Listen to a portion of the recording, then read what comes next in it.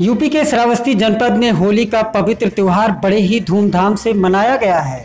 आपको बता दें कि होली का यह त्यौहार एक पवित्र त्यौहार है। इस त्यौहार की तैयारियाँ दो दिन पहले से पूरी कर ली जाती हैं। होली के दिन एक दूसरे को रंग लगाकर अपनी खुशी को लोग ज़ाहिर करते हैं। दरअसल, इस पवित्र त्यौहार के दिन एक दूसरे के घर पर मेहमानों का आना जाना सुबह से ही घर पर लगा रहता है और घरों में तरह तरह की मिठाइयाँ व गुजिया का इंतज़ाम किया जाता है। उसके बाद नौजवान रोड पर आकर रंग लगाकर एक दूसरे को पवित्र त्यौहार की बधाई भी देते हुए नज़र आ रहे हैं। होली के त्यौहार शांति व प्रेम का त्यौहार माना जाता है। ऐसे पवित्र त्यौहार में एक दूसरे को रंग लगाकर लोग अपनी खुशी को ज़ाहिर करते हैं। एक दूसरे को बधाई भी देते हैं। वही श्रावस्ती जनपद वासियों ने होली का पवित्र त्यौहार बड़े ही धूमधाम से मनाया है।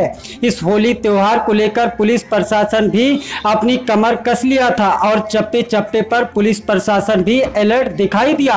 होली त्यौहार और पंचायत चुनाव को लेकर पुलिस प्रशासन सुबह से ही कड़े इंतज़ाम कर दिए थे। इस दौरान लोगों ने सुरक्षा व्यवस्था का पूरा ध्यान रखते हुए और पुलिस प्रशासन ने सुरक्षा व्यवस्था का लोगों को एहसास दिलाने के साथ ही साथ होली का त्यौहार बहुत ही शांतिपूर्वक ढंग से मनाया है। वहीं अपर पुलिस अधीक्षक बीसी दुबे ने जनपद के कई कई कस्बा व नगर में जाकर छोटे छोटे बच्चे को मिठाइयाँ व पिचकारियाँ देकर उनके बीच में होली का त्यौहार मनाया है